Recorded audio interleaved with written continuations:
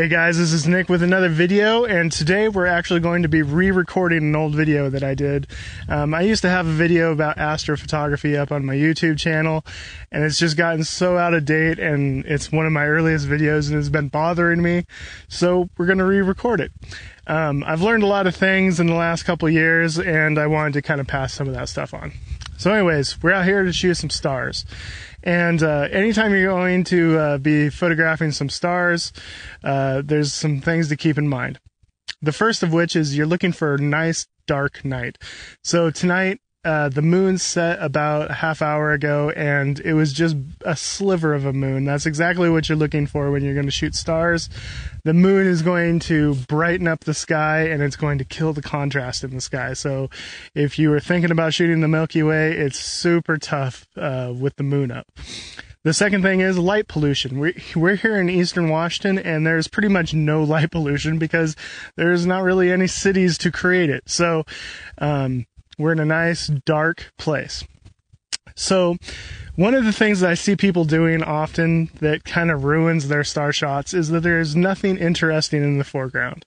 You need to have that foreground element to make it a compelling picture. Um, just like, you know, you see those shots of a really nice sunset and there's nothing in the foreground, it just makes for a boring picture. So, same with our star shots, we need to have something interesting in the foreground. So that could be a tree, that could be uh, an old building, that could be a car, a- anything really. It doesn't have to be the most amazing subject in the world, but just having something in the foreground will create that compelling image. Okay, so let's go over here and we're to start taking some shots and let's get to it. Okay, quick rundown of the basic things you're going to need. Uh, the first and most basic thing is you're going to need a flashlight. You're out here bumping around in the dark. Gonna need it. You're probably gonna be doing some light painting anyways, so flashlight super handy. Second of second thing you need is a tripod. The sturdier the better. This is Induro. Um, I really like the Induro stuff. It's a nice trade off for quality to price. That's a good value. Okay, so the first thing everybody wants to know is what kind of settings are you going to use to shoot the stars? And the, the thing that you start off with is your aperture. Your aperture is always going to be wide open because you need as much light as you possibly can. We're shooting in manual, that's a given. You better be shooting in manual. And you're going to have your aperture wide open. This particular lens is f1.4. So that's going to allow us to open up really wide, soak in a whole bunch of light, and uh, and that's going to let us lower our ISO a little bit. Now the the second thing to keep in mind is your shutter speed. There's something called the 500 rule. Now the the way it works is you take 500 and you divide it by the focal length of your lens. In this case, is 24, and that tells you how long your shutter speed can be. Um, so Obviously, if you have a wide angle lens, the wider the angle of the shorter the focal length, the longer your shutter speed can be. So, like with a 24 millimeter lens, technically I could have up to a 21 second, I believe it is, 20 second exposure. With a 16 millimeter lens, like my 16 to 35, I could have like a 31 second long exposure. Um, so it's just a rule of thumb. It's not a hard rule because technically, even at that 30 seconds, you can start to see some trailing. So it's it's a taste thing, but that that's kind of gives you your starting place. So we know we're going to have our aperture wide open.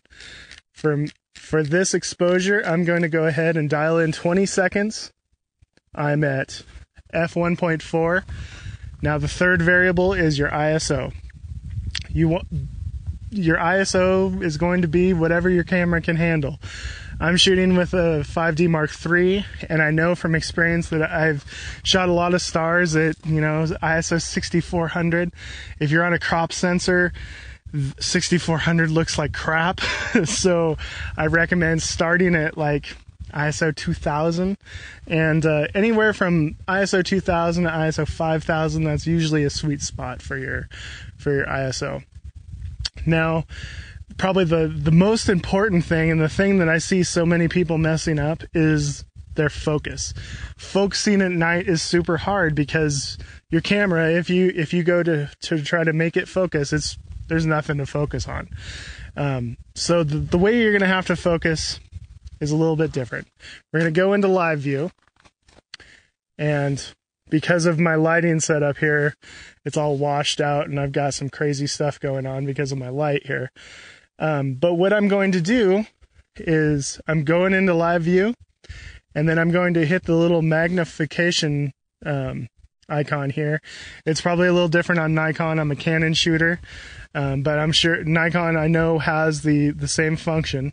And I'm just going to go and find a star and zoom way in on it as far as I can, and then I'm going to manually focus it to that to that star is the smallest point I can make it, and then I'm know I know that I'm focused. So I'll be focused to infinity, and I'm going to uh, dial in ISO 3200 to start off with, and then I'm going to have to turn off my light to take a picture, and I'll show you what that looks like right now. We're going to uh, go ahead and take the picture. And now it's taking the picture. I dialed in a 20 second long exposure. Okay, so this this is a manual focus lens. I'll, your lens is probably an autofocus lens. Um, so what you need to do is you need to take it out of autofocus, move it into manual focus. That way it's not trying to focus every time you take a picture. So it's popping up here. Going to review it. And you can see just how much detail we have going on here. Um, I have a whole bunch of ambient light coming from the dome lights in my car over here. So I'm going to turn those off and we'll take another picture. Okay, so I got the dome lights and stuff turned off. And uh, we're going to take another picture here. So we're just going to let all of that light soak in. This particular lens, I'm going to make another video about it. But this is the Rokinon 24 millimeter f1.4. And I had tested a couple lenses before this, including the Canon 1.4. And this one is awesome. I mean, it's uh it's much cheaper. It's and it doesn't have all that weird um, distortions and stuff that was happening on the Canon. So we're going to review the image here. And yeah, you can see the Milky Way is starting to really come out. Okay, so a couple more tips that come to mind. Um, when you're out in the field and you're out here in this this really black night and you're reviewing your images, your your LCD screen is backlit.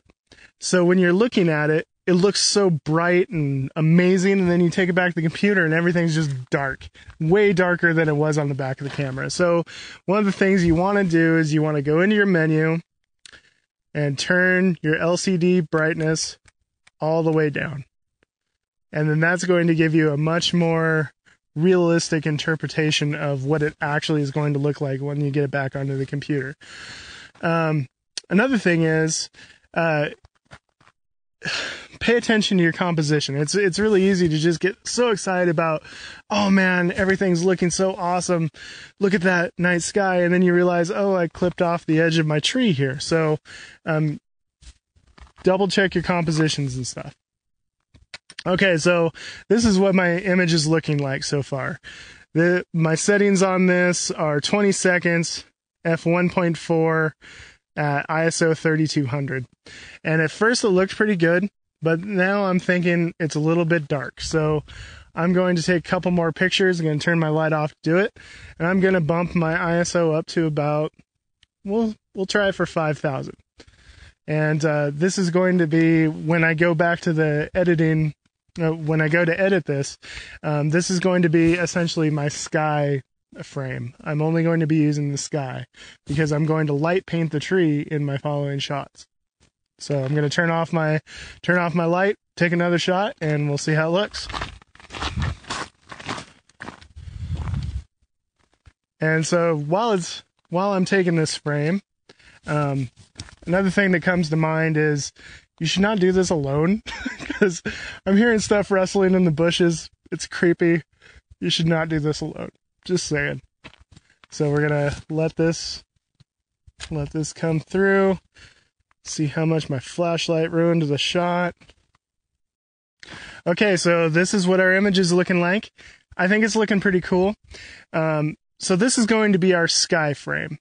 Because what I like to do is I like to take it back into Photoshop and I like to have a sky, a sky image where I'm just going to use the high ISO image for the, all the detail in the stars. And then I'm going to go back and I'm going to light paint the tree at a much lower ISO. That way we have, we're dealing with less noise and I'm going to uh, use that for my foreground. So it's time to do some light painting. Okay, so what I'm going to do for my light painted frames, I'm going to lower my ISO down to about ISO 400.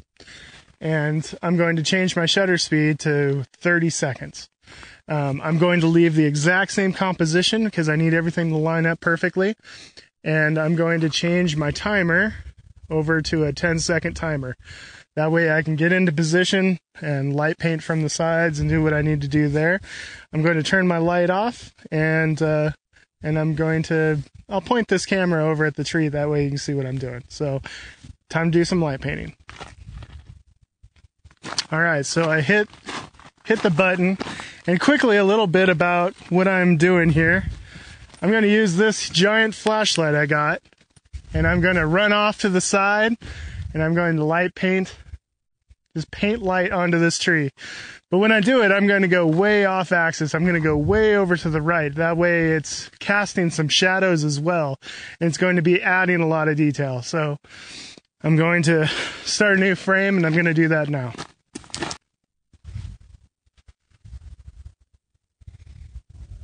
And it takes quite a bit because I'm only at ISO 400 right now.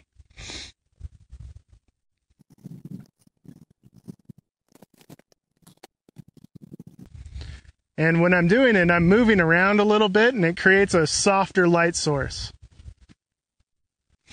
Okay. Now something I'm going to do, I'm going to change the aperture, stop it down to about f4 just get a little extra sharpness going on. And we'll try it again because I blew out the highlights really bad in that one. A lot of this is just trial and error. This is a super bright flashlight, so it's kind of tough to know how much it's going to take.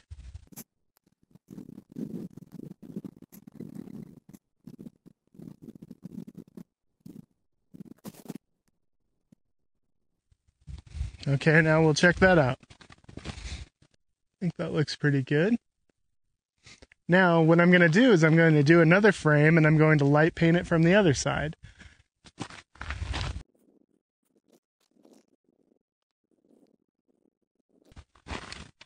All right, so let's take a look at our light painted images. Now, these first couple, you can see that it was actually my light here was kind of acting like a fill light and creating some lens flare and stuff. So in these last couple, this one and this one. Um, I turned that this my my video light off, and that's what this is looking like. So I used this giant thing as opposed to this little guy. And the only reason I did that is because I was going to be quite a ways away, and this giant light allowed me to shoot it. What was I? I was I stopped down to f4 and I was only at ISO 200. So my foreground is going to be this nice, clean, noise free image because I use this huge, powerful light. And uh, it, it's it's really cool to be able to take all the noise out of your foreground and still have all that detail in the sky. All right, so that leaves us with this. This is the final image here. I'm pretty happy with the results. Make sure you go over to nickpagephotography.com to see more tutorials. Go over to improvephotography.com to check out some of the podcasts I'm a part of. Like, subscribe, and we'll see you next time. Thanks so much. Bye bye.